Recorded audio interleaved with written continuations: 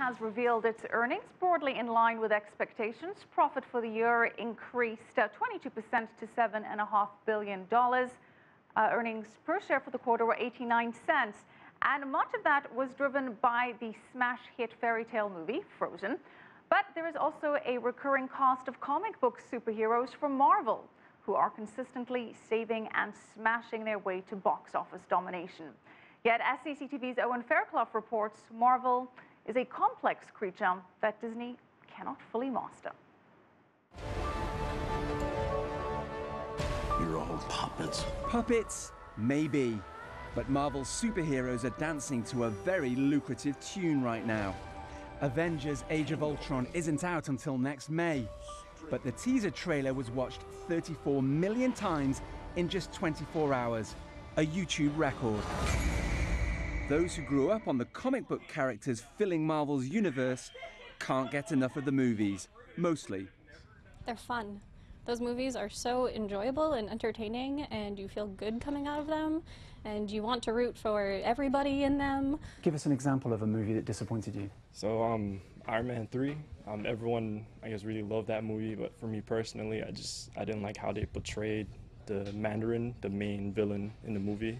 The fact that they've grown this this uh, movie universe, so they've all the movies kind of fit together, they piece together.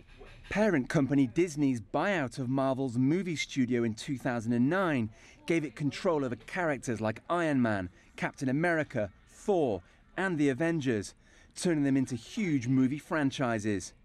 But what about the ones that got away? In theory, Marvel's universe is limitless, but in reality, Disney has found there are very strict boundaries. For example, Disney doesn't have the rights to make two of the most successful franchises of recent times Spider Man and X Men.